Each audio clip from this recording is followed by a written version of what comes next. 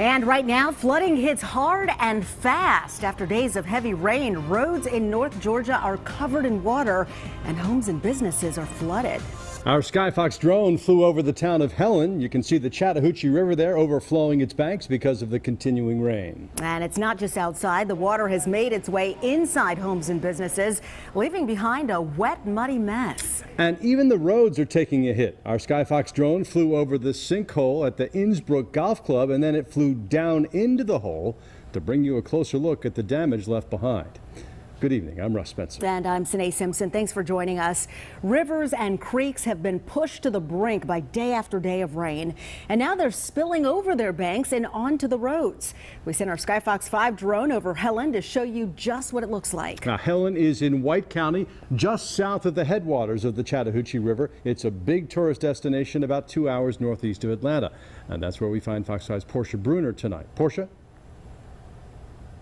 I can tell you that river is moving at a pretty good clip already. It stopped raining for several hours this afternoon, but just started picking up here in the last, I don't know, 15, 20 minutes or so. And you can see here now, what I'm not going to do is fall in the Chattahoochee River, but I want to give you a sense of just how high this is. These steps, there are a couple of more would lead sort of into that area where folks go tubing here at Cool River Tubing, but that's not an option. You can see how this uh, river is moving right now and take a look at what they're doing to sort of get this water out of here, get the mud out of here from earlier today. Fox 5 photojournalist Lloyd Alford will show you this blue hose is what they've been using to sort of get some of the water out of the parking lot, some of the mud out of the parking lot, and then let it flow right into the hooch. I can tell you it's a river everyone is keeping an eye on in this rain. One look at the Chattahoochee from Skyfox drone and you can understand how this river can take quite a toll on the small town of Helen, Georgia. It rose real quick. You know, we had a rain, a hard rain from 10:30 to 12, and it probably brought the river up three foot, four foot. Terry Sims owns several businesses in town, including Cool River Tubing where the river rose high enough to run straight through the first floor of this establishment. Hopefully it was going to go down and quit raining and not take the building. Well, did it seem that perilous at, at some point? It could have been if it had kept raining. It took a few tools and some elbow grease to clean up all the mud left behind.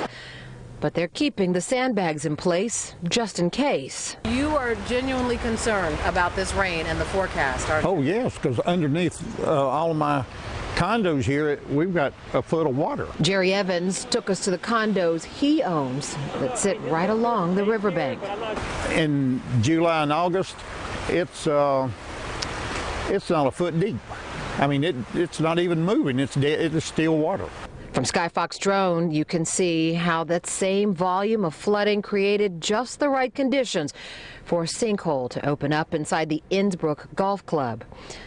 Another reason why almost everyone in Helen is keeping an eye on the sky above and the river below. Another inch today, maybe an inch and a half. But every inch counts in a situation uh, well, like this, especially right? right now because an inch of water right now will bring it right back up.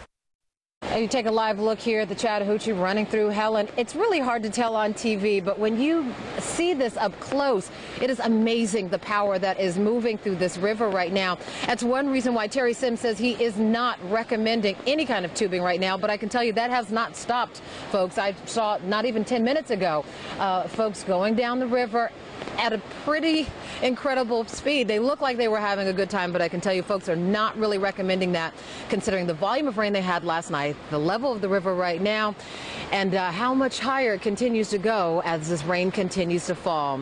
Reporting live in Helen from White County, Portia Bruner, Fox 5 News. Yeah, it really does sound dangerous, Portia, and for people who haven't gone tubing up there,